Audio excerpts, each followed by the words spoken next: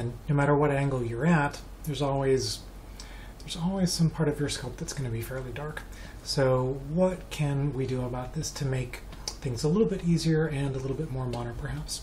If you look at some other applications, like for instance, alias design, where people have been designing automobiles for years and years, their default view, like if you're just laying down some basic shapes, their default view is to use an environment map and to do essentially image-based lighting.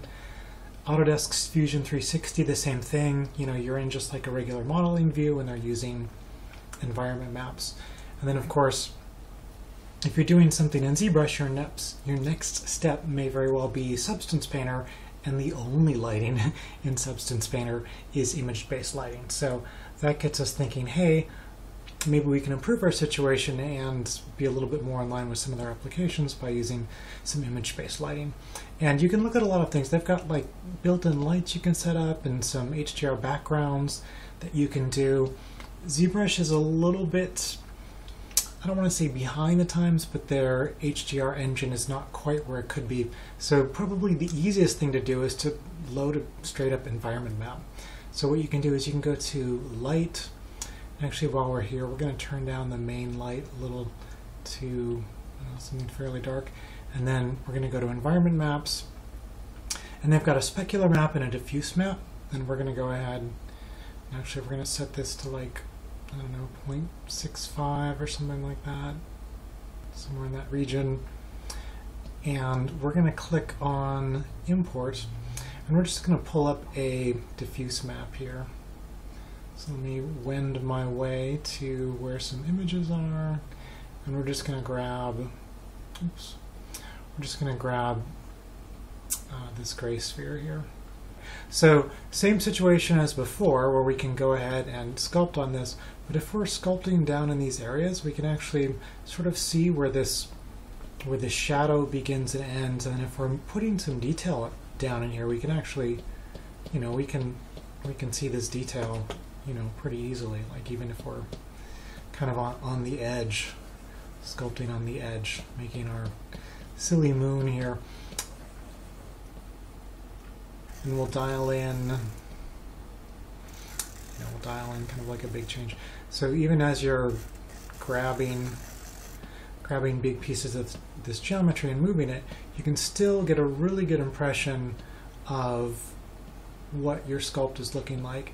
And then as you're as you're rotating, you can see you know the highlight sort of playing playing off your sculpt, and you're almost never wondering like, oh gosh, you know what is what is the geometry looking like? So pretty handy, pretty handy in that regard. Even if the detail disappears, you can still kind of see what's going on.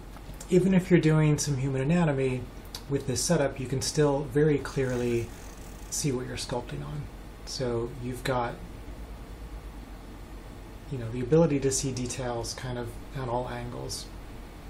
And even even with this fairly aggressive shadow, which I've often turned down on occasion, uh, you're still not wondering what, what's going on.